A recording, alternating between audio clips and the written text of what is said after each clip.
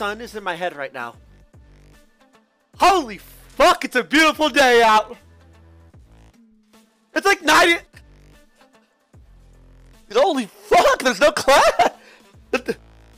There's a slight breeze though. Uh-huh.